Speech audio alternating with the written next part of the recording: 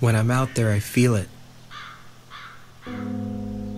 The nature, the adventure, the speed, the adrenaline. I feel this boy's dream that became my life. And then they ask me, but what if? I know it's not the time nor the place for this question. All you do is trust. Trust in yourself, your bike, and your gear.